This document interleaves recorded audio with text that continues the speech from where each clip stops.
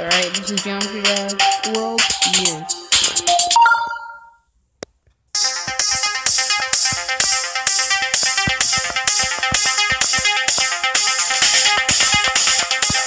I've been playing it over in Geometry Dash